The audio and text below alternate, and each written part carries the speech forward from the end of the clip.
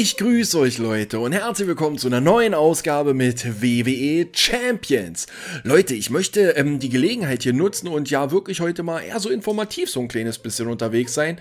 Ähm, der Videotitel verrät es ja bereits, es soll um ein neues Facebook-Projekt gehen und des Weiteren ähm, ja um die Ergebnisse der Players Choice-Ziehungen, wo ich auch mit dabei war, wo ich was gemacht habe, wo wirklich geiler Schissel passiert ist, möchte ich euch natürlich gerne dran teilhaben lassen, was da so los war. Aber Leute, ich würde sagen, kommen wir erstmal zu dem für mich doch wichtigsten, nämlich zu der Geschichte mit Facebook. So Leute, da sind wir auf der Facebook-Seite gelandet, nämlich auf der neuen Facebook-Seite, der offiziellen Seite WWE Champions Germany. Ähm, Link dazu findet ihr jetzt immer in den Champions-Videos äh, unten in der Videobeschreibung, so auch jetzt. Und ähm, wenn ihr die Seite halt so sucht, wie, wie gesagt, WWE Champions Germany, habt da einmal eine Gruppe, werdet ihr da finden. Da könnt ihr natürlich auch gerne mal vorbeischauen und mit den Jungs dort ein bisschen schnacken und ein bisschen rumklönen. Oder dann findet ihr natürlich auch noch diese Like-Seite, so möchte ich es jetzt mal eher nennen, die WWE Champions Germany-Seite.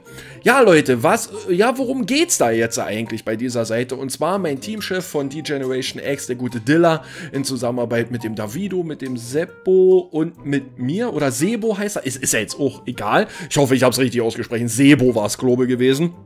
Ähm, und meine Wenigkeit ähm, haben dann jetzt so auf gut Deutsch, werden jetzt gemeinsam hier diese WWE Champions Germany Seite betreuen, wo ihr ähm, Infos bezüglich WWE Champions die ganze Zeit bekommen könnt. Was ist wichtig zu erwähnen hier an der Stelle? Wir gehen vielleicht mal ganz kurz hier ein bisschen hoch und runter. Ähm, ihr werdet hier immer wieder ja, Beiträge finden bezüglich aktueller Events, die laufen. Ähm, wichtig an der Stelle ist halt wirklich zu erwähnen, dass das wirklich auf Deutsch alles ist. Mich erreichen auch immer sehr, sehr viele Fragen, wenn WWE WWE Champions ihre Blogbeiträge halt zu machen, die sind halt immer auf Englisch, dass das manche nicht immer so richtig verstehen oder denen danach halt nicht so richtig schlüssig ist, Mensch, was sollen sie denn eigentlich machen? Und ich sag mal, da ist dann halt dieser Post wirklich ähm, sehr wichtig. Ähm, Info, wir arbeiten bereits daran, den Blog auf Deutsch verfügbar zu machen. Es ist wirklich das Ziel und das wird jetzt auch in naher Zukunft soweit sein, dass der WWE Champions Blog, den ihr halt alle kennt, dass der auf dieser Seite jetzt auch bald immer auf Deutsch für euch zur Verfügung gestellt wird. Und ich hoffe so, dass dann auch die Events und sowas, wenn neue Monatsevents angekündigt werden, neue Superstars oder wie jetzt kürzlich mit dem Showdown-Event um Ken Shamrock, dass ihr da wirklich dann auf dem Stand seid und das dann wirklich für jeden von euch verständlich ist, die halt dann wirklich aufgrund der englischen Sprache da so eine kleine Schwelle haben, so eine Hemmschwelle haben und das da halt einfach nicht so richtig verstehen, was vollkommen legitim ist, was vollkommen okay ist und das ist ja schließlich der Grund, warum so eine Seite ins Leben gerufen wird, damit euch da halt auch ein kleines bisschen geholfen wird.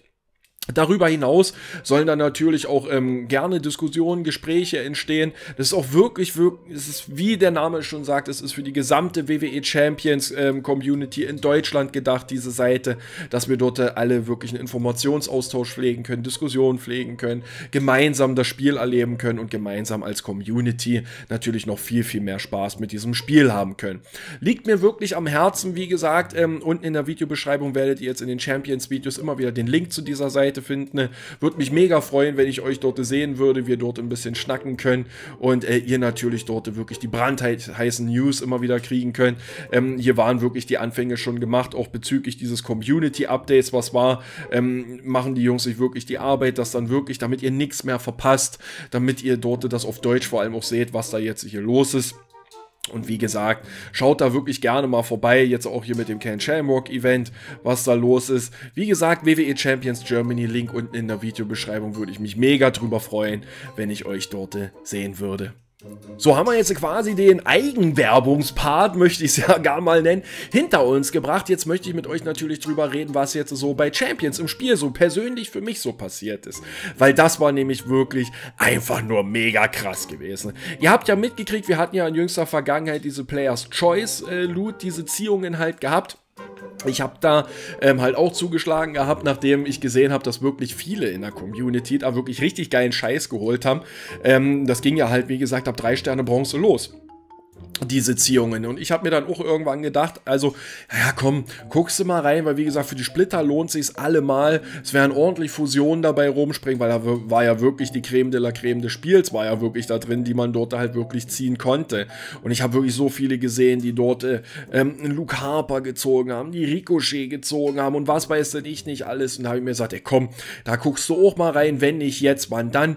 Ich habe das, wie gesagt, nicht aufgenommen, weil ich mir wirklich sage, bei so einen Geschichten, wo es halt wirklich wirklich hier drum geht, soll wirklich jeder selber entscheiden. Ich möchte das dann auch jetzt nicht, ähm, ja, euch jetzt in dem Sinne großartig dazu animieren und äh, ermutigen zu sagen, dass ihr das auch machen sollt. Das soll wirklich im Endeffekt jeder selber entscheiden und das halt wirklich an seinem Spielerlebnis, wie er das Spiel halt genießt, halt anpasst. Und es muss, wie gesagt, jeder selber entscheiden. Ich persönlich habe mir gesagt, okay, ich greife an. Ich habe ähm, zweimal so eine 20er-Ziehung gemacht. Ja, ordentlich, ne? Müssen wir nicht drüber reden. Aber ich habe in dem dem Punkt wirklich dieses Mal Schwein gehabt. Und da ist für mich wirklich ordentlich was mit bei rumgekommen. Ich kann es ja jetzt schon mal sagen. Drei neue Superstars sind für mich ähm, mit bei rumgekommen und die haben es wirklich in sich. Ich möchte jedoch erstmal ganz kurz mit euch ähm, ja, in die Poster reingehen. Und zwar, ähm, was ich da so als Upgrades dort so gezogen habe. Wie gesagt, es ging halt los ab drei Sterne Bronze. Und da ist wirklich ein bisschen was mit bei rumgekommen. Seht ihr erstmal, bei mir herrscht auch äh, totale Posterflaute. Das ist echt der Wahnsinn. So, wir gehen mal ganz kurz durch. Und zwar habe ich ähm, die gute Alexa Bliss auf drei Sterne Silber gezogen. Ziemlich cool. Die dümpelt bei mir so auf zwei Sterne Gold rum. Habe auch jede Menge Splitter für sie. Deshalb cool. Jetzt äh, drei Sterne Silber, kann ich meine Splitter reinhauen und dann habe ich auf jeden Fall nur adäquaten Diven-Superstar. Ist doch ziemlich cool. Selbiges gilt für Asuka. Auch mega drüber gefreut. Drei Sterne Silber Fusion jetzt hier am Start. Brad Wildman hat eine 3-Sterne-Silber-Funktion. Der ist für mich jetzt nicht so mega interessant, aber nimmt man natürlich richtig gerne mit. Dann Doink, habe ich mir auch mega drüber gefreut, eine 3-Sterne-Fusion. Vor allem sehr interessant, weil ich den ja auf 4 Sterne schon habe und dass da fürs nächste Talent-Up-Event natürlich auch ordentlich Punkte dadurch schon bei rumkommen werden. Dann äh, für Finn Baylor den Demon auf 3 Sterne Bronze-Fusion, das nimmt man halt so mit. Selbiges gilt für Jake the Snake Roberts, für den ich im Allgemeinen sehr viele Splitter gekriegt habe. Übrigens auch für Jim the Anvil Neidhart habe ich jetzt über 1000 Splitter was richtig geil ist, weil ich ihn bei den Strikern eh noch ein bisschen weiter pushen wollte. Dann noch eine Fusion für den guten Carl Anderson. Dann was auch mega interessant ist, sage ich ganz ehrlich, für äh, The Face of äh, the American, ihr wisst schon, Kevin Owens die Variante, der wirklich nicht schlecht ist, sage ich ganz ehrlich. Ähm, Habe ich mich auch sehr drüber gefreut, nämlich sowas von mit. Und natürlich richtig nice. Das war auch so ein kleines Highlight aus dieser Ziehung gewesen, nämlich eine Fusion für Vince McMahon, den Chairman, auf drei Sterne Silber, ein brachial guter Superstar, gerade hier für die Attitude Era. Eine drei Sterne Silber Fusion, endlich ist es soweit, nämlich ich sowas von gerne mit. Naja, Jax nimmt man die Fusion mit auf drei Silber für ähm, den guten Roman Reigns. Auf drei Bronze. Vollkommen cool. Den habe ich ja auch so auf zwei Gold immer gehabt jetzt und auch Haufen Splitter natürlich für ihn. Dann die kommen dann endlich zum Zuge, wenn halt auf drei Sterne fusioniert, dann die Splitter rein, ist doch alles tutti frutti, mache ich doch richtig gerne. Und das ist in denselben Schuh, in dieselbe Schublade kann man äh, auch den guten Teddy Biasi Million Dollar Man hinzufügen, dass ich da dann jetzt meinen Splitter dann auch mal bei ihm reinstecken kann ja, die Geschichte, Leute. Jetzt möchte ich mit euch ähm, darüber reden, was ist denn eigentlich jetzt so an neuen Superstars bei rumgekommen. Und wir sind dann jetzt hier eigentlich schon bei der richtig krassen Nummer, nämlich ihr seht es hier direkt schon. Ich hatte tatsächlich Acam, The Authors of Pain, meinen letzten fehlenden MP-Trainer drinne gehabt für die gelben Manöver und ich sage ganz ehrlich, dass ich ihn gezogen habe, das wird ähm, mein Spiel doch schon ziemlich ändern jetzt und ich sage auch ganz ehrlich, durch die Superstars, die ich gekriegt habe, eine komplett neue Motivation jetzt hier gerade bei mir am Start, da wirklich Gas zu geben. Und wie gesagt, endlich ist er da. Zum Beispiel hier für meinen Striker Sting. Endlich ist Akim da. So wird er jetzt halt noch gefährlicher. Und ich hatte ja die Idee gehabt, Sting auf 4 Gold zu machen. Und dann, ach, mir fehlt Akim. Lohnt sich das? Diese Diskussion kann man dadurch jetzt an Akta legen. Weil Akim da ist, kann man jetzt auch ruhigen getrost ähm, jetzt wirklich den Stinger hochziehen. Oder für mein 4 Gold, für den Deadman Undertaker. Akim, endlich kann ich ihn auch mal gelb-gelb ähm, violett spielen. Mega geil, mega geil. Also wie gesagt, Aiken endlich am Start. Richtig cool und nämlich sowas von mit und habe ich mich wirklich ein zweites Loch in den Arsch gefreut, sage ich euch ganz ehrlich. Das war einfach nur mega gewesen. So, ich will hier aber mal andersrum ganz kurz gehen. Wir sind jetzt hier bei den Strikern. Ähm, das war auch richtig krass, was hier passiert ist. Ihr seht es hier schon, Leute. Und zwar Kevin Nash, Big Kev, ähm, gezogen gehabt. Das ist wirklich eine richtige Ziehung gewesen, wo du einfach mega Schwein hattest. Natürlich richtig gut, endlich einen von den NWO-Superstars hier am Start zu haben, die es damals halt hoch im Rahmen des Events mit Scott Hall und äh, dem Macho Man gab, wo, mir, wo ich halt auch keinen hatte. Und jetzt durch Kevin Nash, Big Kev, natürlich unter den Striker eine mega Waffe. Ähm, kann ich mein Glück ehrlich gesagt immer noch nicht glauben, ne, dass ich wirklich ähm, ihn gezogen habe, weil es wirklich einfach überragend. Ähm, Freue mich auch schon sehr darüber. Ähm, Gürtel für ihn dann mal wieder. Ähm, ich hoffe, ich habe nämlich jetzt keinen guten, seltenen mehr. Ähm, hoffe ich, dass da jetzt noch einer bei rumspringt, weil ihm würde ich wirklich gern noch einen schönen Gürtel verpassen. Ne? Oder mal gucken, ob er dann den bekommen wird, den, äh, sag schon den Ric Flair gerade hat. Der hat ja noch einen epischen um, dass ich denen dann den guten Big Kev hier geben werde, weil auf jeden Fall Kevin Nash wird sowas von hochgezogen. Ich denke mal, das steht ja wohl mal außer Frage. Wird natürlich alles dauern, seine Zeit und so gerade mit äh, Akem, der ja auch noch mit am Start ist. Deshalb ähm, alles zu seiner Zeit, aber rennt mir ja nicht weg, er ist im Roster und das ist allein schon einfach klasse. So, und dann kommen wir auch schon zur nächsten Kategorie, den Akrobaten. Leute, ich sag's ganz ehrlich, ich konnte meinen Augen nicht trauen. Ich konnte meinen Augen nicht trauen, was ich gesehen habe, was ich dort gezogen habe. Ähm, Buff. Ich war baff. Ich war baff gewesen, habe tatsächlich das mega Schweigen gehabt und habe Jimmy Uso auf 4 Sterne Bronze gezogen. Wahnsinn. Wenn ich mir überlege, die, überlege diese ganzen äh, Charakter, diese, diese Reviews zu bestimmten Superstars, wo ich immer wieder gesagt habe, oh, wäre so cool, wenn ich jetzt einen Jimmy Uso hätte, für seiner Trainerfähigkeit, ähm, halt bei violetten Manövern halt mehr Juwelen zu zerstören, wenn das Manöver das halt sagt. Wahnsinn. Jimmy Uso und allgemein auch von den Manövern her natürlich ein brachial guter Akrobat. Ähm, jetzt ist dann natürlich, stehe ich wieder in der Bütt, ne? Jetzt muss ich Matt Hardy, der ja auch noch nicht gemacht ist bei mir, muss ich auch noch hochziehen auf seine 5000er ähm, Talentpunkte. Selbiges gilt dann natürlich für Akem dass da die Trainerbasis erstmal stimmt. Gut, Akem ist jetzt für Jimmy Uso nicht wichtig, aber halt auf jeden Fall Matt Hardy. Und solange der nicht ist, brauche ich Jimmy Uso jetzt nicht groß noch hochziehen, weil dadurch wird er halt erstmal richtig gut, ne? Wenn es dann einfach mal heißt, aus äh, mal drei wird mal fünf. Boah, das ist einfach mal irre. Aber Jimmy Uso im Roster, das ist krass. Das ist so krass. Ich sag's ganz ehrlich, klar, hier müssen wir nicht drüber reden, ordentlich gewesen. Aber was dabei rumgekommen ist, es war zu dem richtigen Zeitpunkt gewesen und dann natürlich auch mit dem gewissen Quäntchen Glück. Ich weiß, dass viele unter euch, ähm, habe ich ja auch mitgekriegt, da nicht so ein Glück hatten und so, aber wie gesagt, die haben dann vielleicht mal eine Sechserziehung versucht und hatten da jetzt nicht so viel Glück. Man muss ja so sehen, bei mir waren es insgesamt 40 und 46 sogar, weil ich, indem ich ähm, noch Dollars übrig hatte, 46 waren es gewesen. Ne? Und da ist das dann halt bei rumgekommen. Ne? Und das ist dann natürlich schon ein bisschen eine andere, ähm, ja, Klasse, sage ich jetzt mal, Kragenweite, weil halt einfach auch mehr Versuche da waren. Und da ist natürlich die Chance ein bisschen höher, dass da was Gutes mit bei rumkommt. Also wie gesagt, als ähm, neue Superstars ähm, A-Cam Kevin Nash, Big Kev, den Striker und halt Jimmy Uso. Einfach irre. Ähm, ich habe es vorhin gerade schon so gesagt gehabt. Es ist wirklich ähm, jetzt so für Spielgeschehen jetzt bei mir eine ganz andere Motivation, die da jetzt am Start ist, wenn da wirklich so eine Superstars dazukommen. Ähm, wirklich das Ziel, die jetzt so hoch zu ziehen. Und ich hatte nämlich auch überlegt gehabt, wenn wir jetzt hier eh so gerade so beim Schnacken sind, dass ich nämlich den guten Ric Flair ähm, nämlich weiter hochziehe, der jetzt hier in diesem Attitude-Event ist, aber ihr wisst ja selber, wie es gerade ist hier mit äh, Coins und Poster und so, du musst halt wirklich zweimal überlegen, wie du das jetzt machst. Und werde, denke ich mal, bei dem guten Ric Flair dann jetzt nichts weiter reinbuttern und nutze das dann lieber für die neuen Baustellen plus die alten Baustellen, wie zum Beispiel bei meinem Zombie Owens, äh, Zombie Owens sage ich schon, äh, Zombie Steve Austin, wo den ich ja auch beim Zombie-Event dann endlich mal gekriegt hatte, mega nice gewesen, dass das bei ihm dann endlich mal nach vorne geht, wenigstens jetzt die Coins Coins reinbuttern. Ihr seht, die 4 Sterne Goldmarken fehlen. Ähm, wegen einer anderen Geschichte, die ihr vielleicht nämlich auch noch nicht wisst ja, ich sag mal, die findigen Zuschauer unter euch haben es ja bei dem Overlay schon mitgekriegt, dass der gute Kevin Nash hat ähm, den Undertaker abgelöst bei mir, was der beste Superstar im Roster angeht. Kevin Nash ähm, im letzten Coin Evolution Event auf 4 Sterne Gold hochgegangen und echt genial. Äh, ist einer der Superstars, die auf 4 Sterne Gold auch nochmal einen schönen Push kriegen. Nämlich, sonst hast du bei vielen Superstars auf 4 Gold, wenn du bei dem Manöver dann nochmal das eine Level dann halt dazu gibst, dass sich bis auf den Schaden jetzt nichts weiter ändert. Bei Kevin Nash ist allerdings allerdings das Coole, dass halt, wie hier zum Beispiel, dass du halt wirklich, es geht dann los, du kannst halt wirklich ein Juwel wird mehr zu Spalten abräumen oder hier auch ein Juwel wird mehr zu Spalten abräumen oder wenn es hier reinpusht, du kannst halt dann hier fünf, äh, ich meine sechs anstatt fünf auswählen. Gibt nicht jeder, vier Sterne Gold Superstar mit sich, aber bei einem Kevin Nash ist es zum Beispiel so. Und ja, nicht umsonst.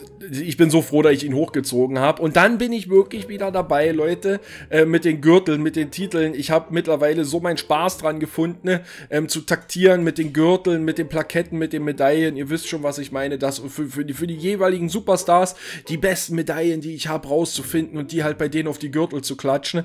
Ähm, auch was das Expeditionszentrum angeht. Ja, ich weiß, uns gehen haufenweise. Ähm, sag schon ähm, Gesundheitspakete flöten, weil wir natürlich nicht mehr so viele ähm, Expeditionen halt haben, was dafür jetzt halt in Frage kommt, sondern dass halt sehr viele Gürtelexpeditionen da sind. Aber was da halt auch das Coole ist, äh, man muss halt immer das nehmen, was kommt. Ich sag's immer wieder bei Champions und du hast dort auch viele äh, Expeditionen, wo du halt auch Gürtel für New Generation Superstar kriegst, wo du einen Gürtel für einen äh, Modern Era Superstar kriegst und da bin ich zurzeit dran, dass es da wirklich ein bisschen nach vorne geht. Leider noch nicht so richtig für die was gekriegt, wo ich richtig Bock drauf habe. Aber ich habe da wirklich meinen Spaß dran und mein Interesse ist da geweckt worden. Und ähm, was bei Kevin Nash ähm, habe ich mir zum Beispiel auch dazu entschieden, das so ein bisschen umzuschwenken. Ich habe da jetzt nämlich ähm, als, äh, sag schon, Set-Bonus mich jetzt für den Gesundheitspunkte-Boost entschieden. Lasst euch vielleicht nicht verirren, wenn hier steht, erhöht die Superstar-Gesundheitspunkte um 20. Da fehlt das Prozentzeichen, Leute. Also es wird um 20% erhöht. Und wenn wir dann jetzt wie hier bei Kevin Nash, bei dem 4-Sterne-Gold-Superstar sind, die eh schon sehr viele Gesundheitspunkte mit sich bringen, und da 20% 10% noch draufbuttern. ist einfach mega krass, Leute. Stellt euch mal vor, ihr würdet das bei einem ähm, 4-Sterne-Gold-Showboard machen, die so schon übelst viel Gesundheitspunkte haben. Und dann nochmal 20% drauf. Wie gesagt, Leute, das ist ein Fünftel, das ist nicht zu verachten.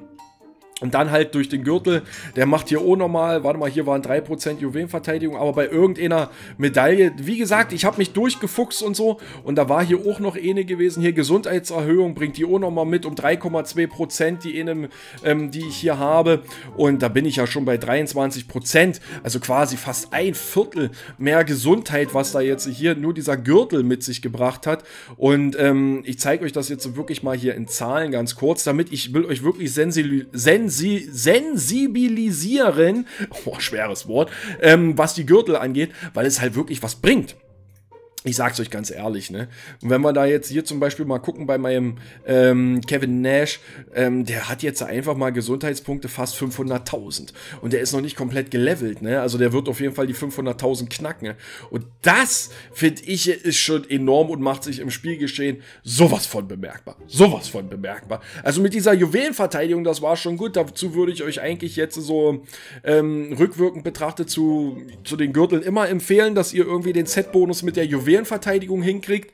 Und ähm, bei 4 Sterne Gold Superstars aber natürlich auch schon bei 4 Sterne Silber Superstars kann man auch sehr gerne mal darüber nachdenken, hier mit den Gesundheitspunkte-Boost mit den 20% da mal ein bisschen rumzuspielen und zu gucken.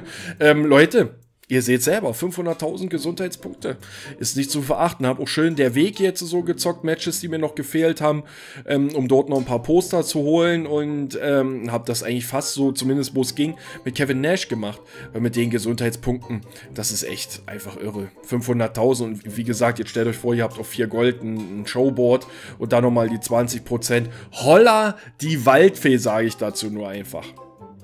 Ja, Leute, soll es gewesen sein. Wie gesagt, mit der Champions-Seite, mit der WWE Champions Germany-Seite. Link, wie gesagt, unten in der Videobeschreibung. Das war mir sehr wichtig gewesen, dass wir das hier mal zur Sprache bringen, dass ihr dort halt gerne vorbeischauen könnt, um dort in Zukunft eure Infos zu holen und ein bisschen zu schnacken mit uns allen oder einfach zu schnacken innerhalb der Community. Dafür ist die Seite da. Und dann wollte ich euch natürlich einfach meine geniale Ausbeute zeigen aus dem Players Choice. Wie gesagt, Schweiger Schweiger wie Sau, ne? Mit Ake, mit Big Kev und Jimmy Uso auf vier Sterne. Wenn du eh noch vier Sterne ziehst alleine, ist schon so geil, weil du kannst auch erstmal am Anfang wirklich nur die Manöver hochziehen, die du unbedingt haben möchtest.